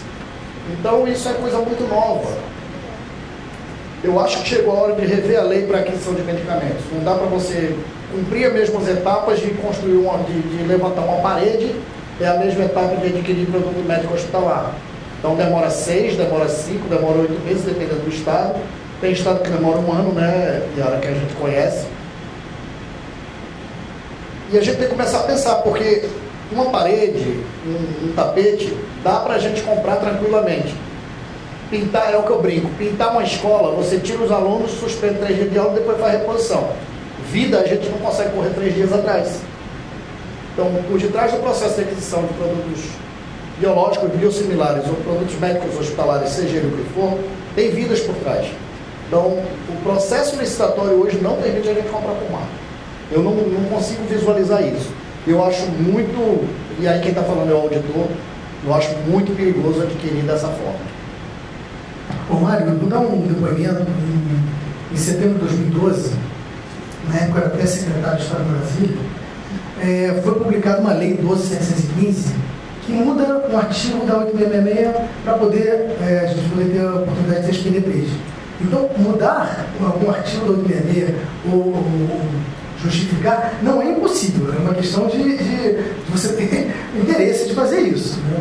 Então, é, concordando com você, é tudo uma questão de, de como você pode fazer. Porque poder fazer pode, já foi feito. Você teve um interesse nacional de você, né, a oportunidade das PDTs, de uma certa forma, fazer uma reserva de mercado, para isso você teria que mudar a 8666 e foi feito. Então, quer dizer, dá para fazer, é uma questão de, de, de, se fazer. Eu queria fazer só um comentário sobre, eu acho que eu queria fazer uma minha culpa aqui em relação à farmacovigilância, minha culpa da minha, da minha, da minha categoria profissional, vamos dizer assim, o médico ele não tem cultura de reportar diversa. A verdade é essa. O médico, se você pegar o, currículo da, da USP hoje, são três horas de farmacovigilância em todo o currículo de medicina da USP. Então eu posso garantir a vocês que nessas três horas a pessoa estava jogando bola, tomando cachaça na, na esquina ou jogando porrinha. Porque o, o, o, estudante de medicina ele não liga para isso. Isso para ele é uma perda de tempo. Porque ninguém explicou para ele o, o quão importante era isso. Então a gente não tem uma cultura no profissional médico de reportagem diversa. Um. Dois, não tendo essa cultura, há um manual de, de, de, para você prescrever, é, reportar efeitos diversos da Anvisa tem 32 páginas. Então o médico não vai ler. Terceiro, se um herói, herói resolver é, reportar um efeito adverso, ele sabe que daqui a poucos dias a indústria farmacêutica ligando para ele, o Ministério da Saúde ligando para ele, pedindo muito mais informações, 200 informações, informações que nem se bobear, nem escreveu no protocolo do paciente. Então, é, todo o sistema, desculpa voltar para o sistema, todo o sistema, ele é muito pouco amigável para um, repórter de efeito diverso. Ô, Ricardo, mas assim, é claro, é que se fazer a, a notificação pelos vai lá, preenche o formulário, aquela coisa, é, é, isso é uma, não é amigável, tá? A gente sabe disso, tem de campos e depende do formulário, tem muitos campos. É, mas pensando nesses medicamentos que são de alto custo, e você pega ele lá dentro de um, da lógica do protocolo PCDT. E lá dentro tem as informações que você tem que colocar a cada três meses, ou depende do, que você tem que falar, fez esse exame, está assim, está assim, parou por isso. Tudo isso é informação de farmacovigilância. O problema é que isso fica no papel. Por que isso não é sistematizado? Porque se fosse sistematizado todo aquele protocolo clínico, para que você tem que preencher lá, ó, para pegar o medicamento vai ter que colocar aqui uma coisa bem básica, tá? Tá pegando metatrexato, vai ter que avaliar a função hepática.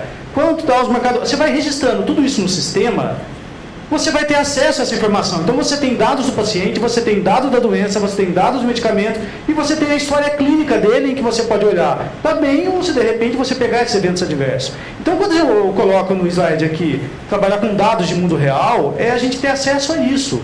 Só que se é uma ficha em papel que o médico preenche, fica na gaveta do médico, ou ele entrega no posto de alto custo, vai para algum lugar e ninguém tem acesso a todas essas informações, é simplesmente é, algo cartorial para mostrar que preencheu, está aqui, está legal, a gente não vai conseguir esse tipo de informação. Então a farmacovigilância é, teria uma forma de você buscar isso de uma forma mais amigável. Eu vejo isso hoje trabalhando com dados. Né? Ou de certa forma, o Hospital Sentinela faz um pouco disso também. Né? Ele procura informação no prontuário. Né? Ele, não. É. Eu acho eu prefiro não me manifestar. Eu acho que a gente está perdendo um, um, serviço básico que tem dentro dos hospitais e deve ser potencializado nesse processo. As CCIHs. Eu acho que isso pode ficar dentro dos núcleos de epidemiologia, das CCIHs dentro de cada hospital, essa discussão é, e essa notificação. É, Yara colocou a questão do, do Horus. O Horus foi abandonado há dois anos. A gente hoje o Horus ele funciona até 10 horas da manhã, aí ele sai para tomar café, de volta perto do almoço, aí ele vai almoçar, de tarde ele funciona até as 4, 4 horas ele vai dormir e volta depois das 6. Então o Horus ele foi abandonado há dois anos, o governo federal abandonou o Horus. Então a gente hoje não consegue funcionar no Brasil, o Brasil para sistematicamente.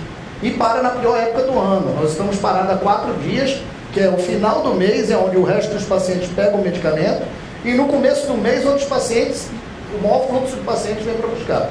Então, o, o, sistema que teria um potencializador foi um sistema que ele surgiu em Pernambuco, não foi com, com o Horus Recife, depois pegou a experiência do, do, do Cismedex, se misturaram os dois e fizeram esse sistema. E esse sistema hoje foi abandonado. É um sistema que ele não serve para muita coisa. E o que a gente precisa é de um sistema único, onde o paciente da porta da atenção básica até o fim, ele caminha num sistema único, isso o modelo japonês já faz. Eu fui no Japão em 2001 para fazer pós-graduação e lá já tinha. Você muda de, de estado, lá é província, né? Você muda de província, na província que você vai, seu prontuário vai junto, então o cara tem tua história toda. Sabe o que, é que tu tomou de vacina, até a gripe que tu teve. O que não dá é para a gente estar hoje com 16 sistemas de informação, nove formas de, de, de entrada da variável sexo, um não fala com o outro, as informações são extremamente incompatíveis, você vai para o CIA, vai para o CH, a informação não bate.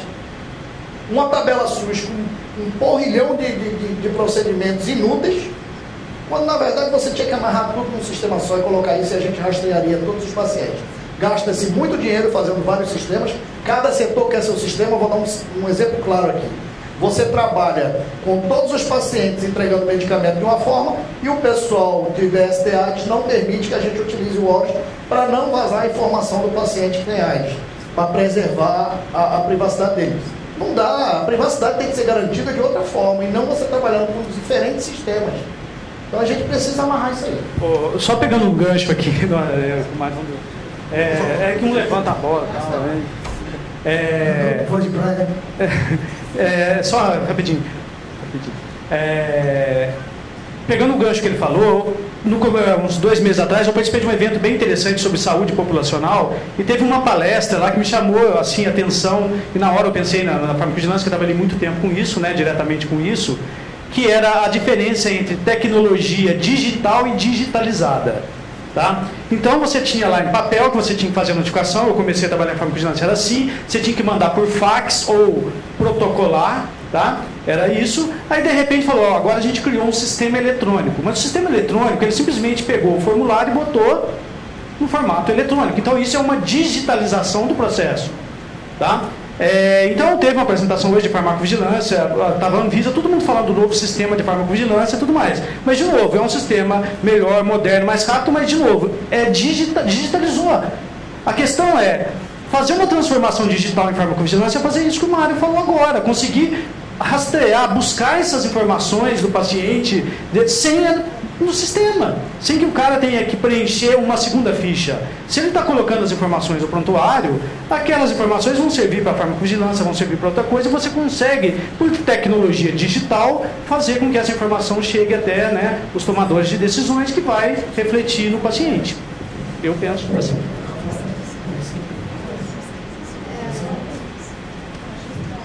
E, assim, com esse tanto de informação que eles falaram aqui, é, a gente está decidindo compra só.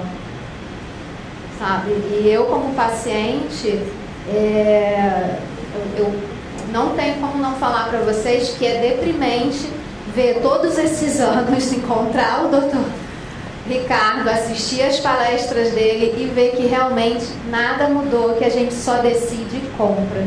Sugestões existem, casos de sucesso existem, mas a gente, nós pacientes, só queríamos entender é por que isso não vai para frente, né?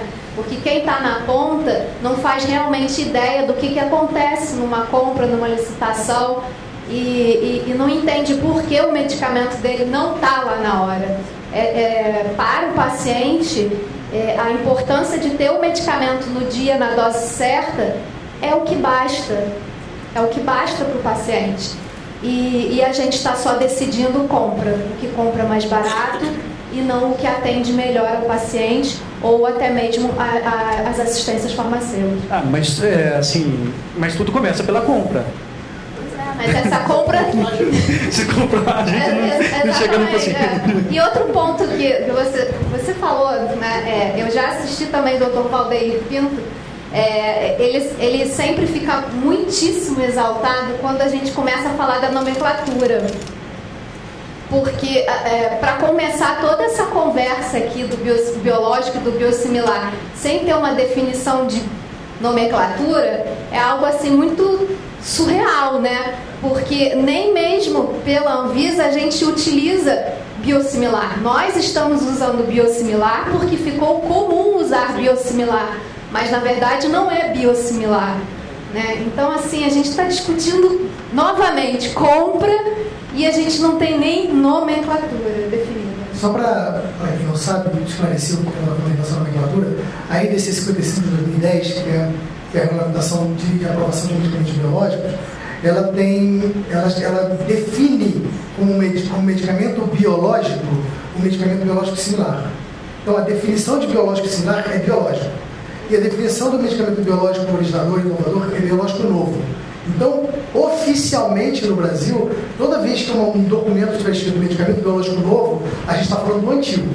E se tiver medicamento biológico, a gente está falando do, do mais recente. Então, isso, isso gera confusão mesmo. É, isso tem um motivo, era por causa da questão dos genéricos, porque similar era uma palavra que denotava alguma coisa ruim, eles não queriam fazer isso, mas a saída não foi, não foi honrosa, definitivamente. Esse problema existe no México também. O México é a maior cadeia de medicamentos, se chama Dr. Sim, de similares. São medicamentos horrorosos, são ruins mesmo.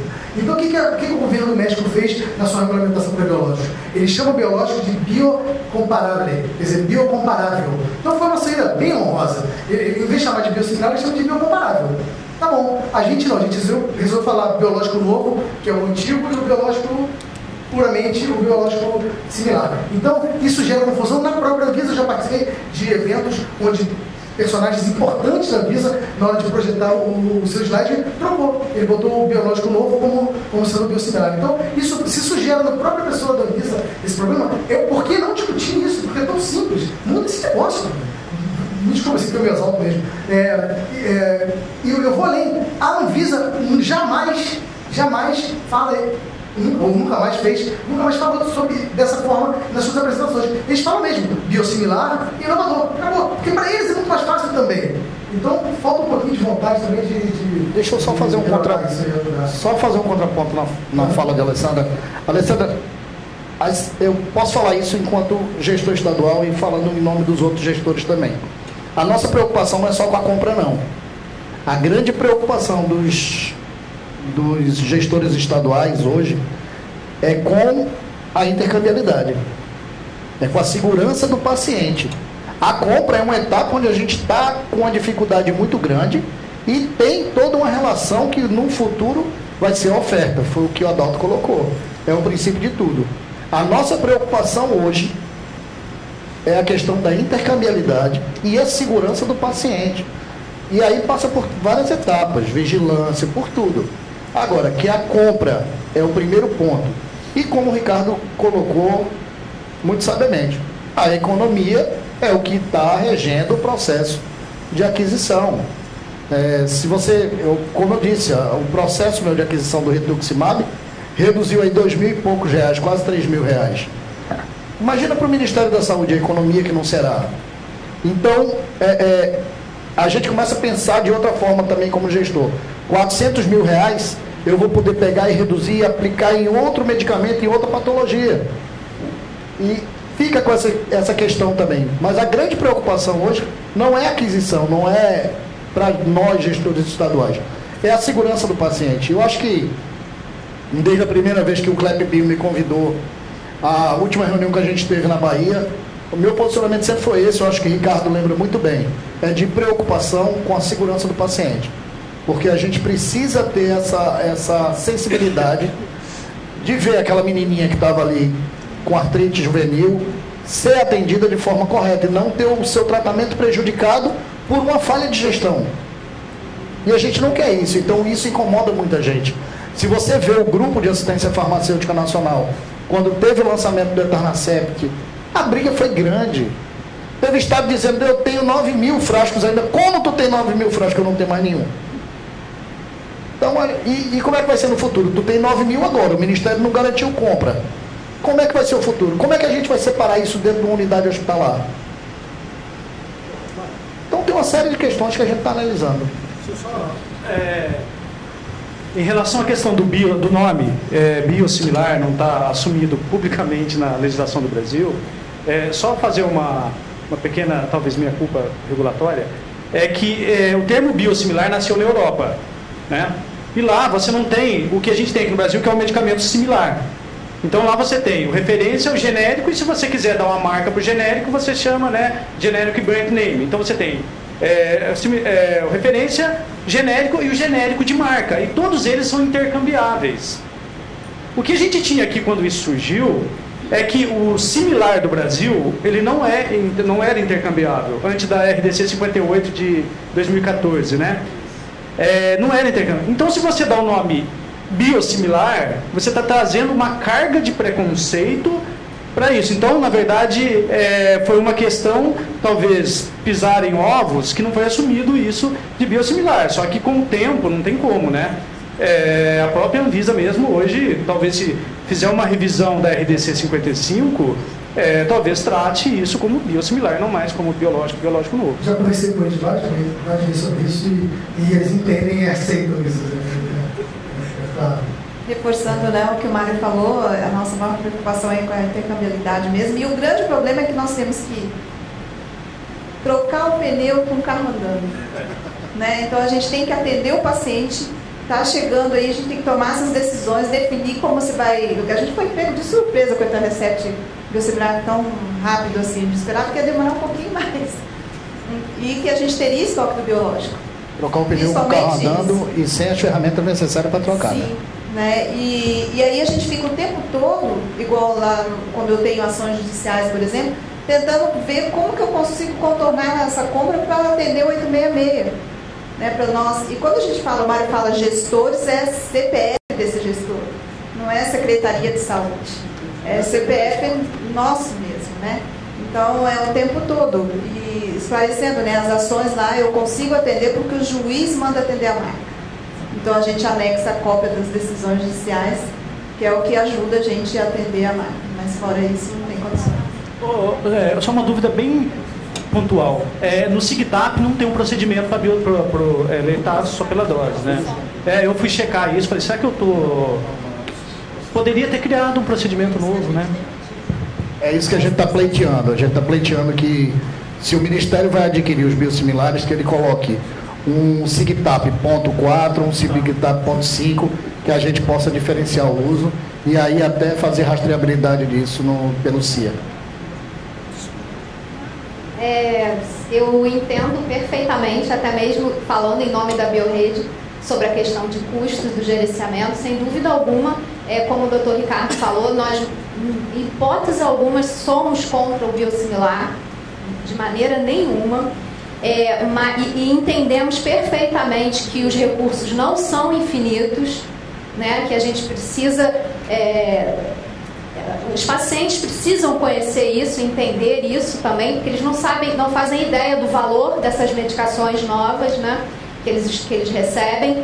É, mas ainda assim, é, é, é, eu, eu, ainda, eu, como paciente, ainda sinto uma insegurança porque eu não sei, como, eu, como eu disse ali, como foi apresentado, quando chegarem mais biosimilares. Quais as, entendo que vocês têm, óbvio, a preocupação com o paciente, mas como vão ser feitas essas compras? Por exemplo, essa do Ministério da Saúde foi, foi colocada para vocês. Né? É, não, não, não, eu não vejo que, que, que, eles tenham analisado o risco para os pacientes, né? porque a gente sabe que vão chegar mais biosimilares e é óbvio que o valor vai ser um dos grandes fatores para a compra.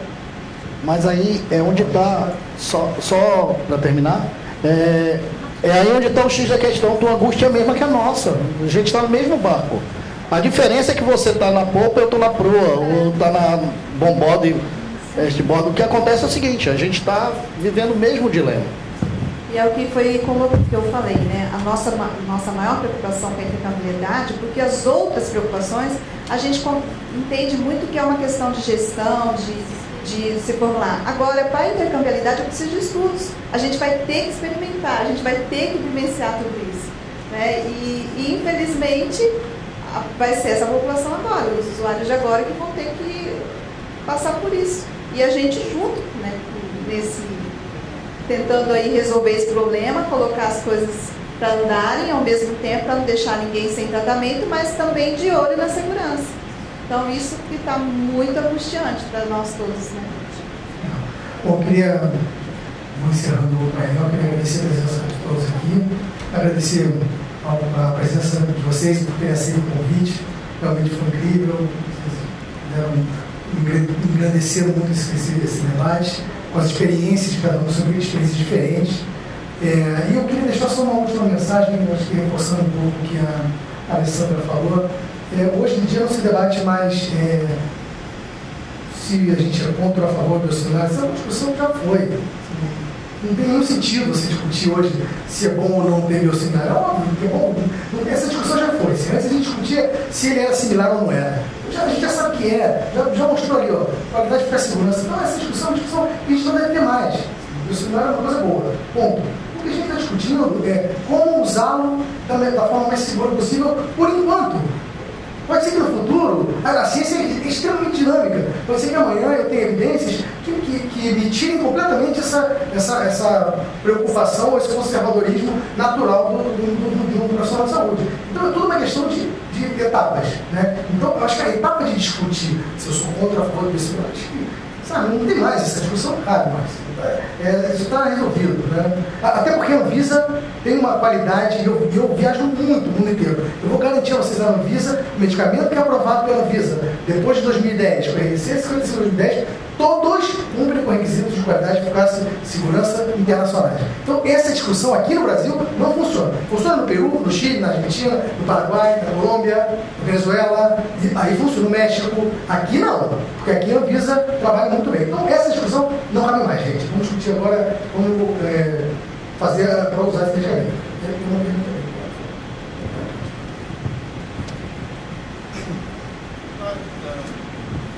tarde, Mário, que é lá da, da, da, Secretaria de Saúde, a todos vocês. Eu acompanhando o debate, tenho ido a várias mesas aqui, né? A gente está numa discussão lá agora sobre câncer colo de útero e sobre a ciência materna obstétrica. Na verdade, é assim, é, você fica três dias num congresso desse aqui, vendo várias, várias palestras, coisas interessantíssimas, né? É, do debate é, segmentado e articulado. Mas eu acho que a gente precisa fazer uma reflexão um pouco sobre, sobre acesso e, e, e, o que é que significa acesso no Brasil, tá certo? É, o orçamento de 2019 ele teve 9,5 bilhões a menos de reais para o SUS. O orçamento de 2020, a peça orçamentária que está sendo discutida e vai ser mandada para o Congresso agora, os últimos estudos estão mostrando que é em torno de 10,5 bilhões de reais a menos para o SUS, por conta da emenda condicional 95. E aí não adianta ficar aqui em três dias discutindo todas essas coisas se ao fim e ao cabo você não tiver recurso para incorporação tecnológica e para garantir o acesso.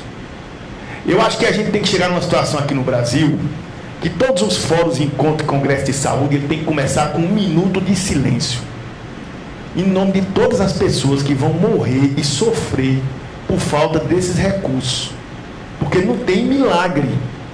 A Secretaria de Saúde, a área que o Mário pilota lá, viveu uma crise ainda pesada de déficit de recursos e acumulação de débitos lá em decorrência de financiamento. Por quê? O orçamento federal para a saúde de Pernambuco entre 2015 e 2018 aumentou só 4% em todo esse quadriênio. E é impossível do orçamento da média alta. E é impossível isso persistir e dar certo. Então a gente também não pode, a gente não pode ficar bordeando a discussão, entendeu, doutor Ricardo? Eu acho que é muito importante o que vocês estão fazendo, porque alerta e instrui muito, mas os usuários, a sociedade, nós profissionais de saúde, para não ir todo mundo ter burnout, para não ir todo mundo psiquiatra, fazer terapia, tá certo? Precisa discutir isso aí, porque a conta não fecha não fecha. O que está se vivenciando no Brasil e tá se, vai se vivenciar mais é um genocídio da população brasileira a se persistir esse desfinanciamento do sistema de saúde. E não tem jeito. O cobertor é curto e vai ficar mais ainda. Impossivelmente mais ainda. E para terminar mesmo, num país que tem uma bomba epidemiológica. Eu estava vendo a Folha de São Paulo essa semana, 2,5 milhões de pessoas inválidas em 10 anos por acidente de motocicleta. 250 mil mortes por acidente de motocicleta, 63 mil homicídios, milhares de pessoas esfaqueadas e bacilhadas que se salvam de caminho do sistema público de saúde, sífilis, câncer de colo de útero, DCNT, câncer, malária. A gente tem tudo que os ricos têm e tudo que os pobres têm, com 210 milhões de pessoas, e diminuindo os recursos da saúde pública, essa reflexão ela não pode mais bordear, ela tem que ser central em qualquer debate que discute saúde nesse país. Porque senão a gente vai ficar enxugando gelo e só chorando no final dos processos. Concordo. Muito obrigado pelo, pelo seu depoimento. Eu, eu, eu sempre, a gente participa desses, desses debates, eu sempre tento buscar uma coisa que é a seguinte, ok, a gente debateu e agora? O que a gente vai fazer? Porque também, se continuar debatendo, ano que vem a gente vai estar aqui tomando um e, debatendo a mesma coisa. Se, se, se, se, a gente não partir para ações, a gente vai continuar com o mesmo debate ao longo de todos os anos com o mesmo problema. Aliás, o problema só aumenta, né? Na verdade, a população aumenta, a, a, a, o índice de mortalidade, o, o, esperança de expectativa de vida aumenta, então o sistema de saúde aumenta custo, não tem jeito, incorporação de novas tecnologias gera custo, então é só custo. E, e, o orçamento baixa. Então eu concordo. Obrigado pelo, pelo depoimento. Acho que a gente realmente tem que trabalhar. Só fazendo uma ponte entre o que você falou sobre os biosimilares que estão consolidados e esse. Cara, queria te, te aplaudir de pé aqui, mas fiquei com vergonha. Muito bom. É, biosimilar, então, já é algo que está consolidado. A gente está entrando agora numa outra área que é as tecnologias de terapia genética avançadas, não é mais na casa dos milhares, é dos milhões. Então, ah, pô, por que você vai preocupar com biosimilares? Nós estamos falando de CAR-T, de é, medicamentos que o gene é levado por um vírus, só que custa paciente 2 milhões de reais. 9 milhões de reais um medicamento novo. Então, assim, ah, você vai falar de biosimilares, você está falando de CAR-T, mas e aí? E o dinheiro para poder bancar essa discussão? Mas é mais ou menos para isso que a gente está caminhando, né? Não, e assim, é, tudo está dependendo do interesse pessoal. Não está se trabalhando mais como política. Esse medicamento que ele colocou foi interesse da primeira dama. Então é uma coisa que é bem complicada. A gente não está trabalhando mais na lógica científica, na lógica da personalidade. Então, e da pessoalidade. Isso aí fere qualquer princípio constitucional. Além da questão de matar a gente, porque o SUS precisava de 60 milhões de, reais, de bilhões de reais para poder pelo menos ser a questão do acesso, ser autossustentável. Aí me, me corta os 60 bilhões, me corta 9 do ano passado, mais 10 desse ano, já vai em 20 bilhões, a menos do que os 60. Então, a carência de dinheiro para o SUS hoje é de 80 bilhões de reais. Então, pô, sinceramente, é, a gente está numa lógica aí perversa com a população brasileira que a gente não entende. Sinceramente, não, não consigo entender. Bom, é, infelizmente eu tenho que encerrar o painel. Eu vou convidar a Jesse para falar sobre a declaração para a melhoria de atenção de câncer no Brasil. Eu não palavrinha. Em nome da Abralho. Só vou aproveitar o gancho então, né? O que, que nós podemos fazer? Isso já fica com você, Ricardo. É, e aqui está uma declaração para a melhoria da atenção ao câncer no Brasil, que é justamente uma tentativa, né, uma proposta já efetiva, na verdade, de propor melhorias, desde a questão do acesso, do diagnóstico, financiamento em saúde, é, junto com mais 120 instituições que estão nesse movimento do Todos Juntos. Né? Esse é o convite do movimento, esse é a declaração que já está revisada, né? esse já é o sexto é, congresso, então a gente vem trabalhando com comitês. E aqui vou, vou deixar com os palestrantes a impressa, infelizmente eu não tenho para todo mundo, mas eu tenho aqui o QR Code, que vocês podem estar baixando também esse documento e fica o convite para a gente todos juntos aí trabalhar nessa melhoria, tá? Obrigada.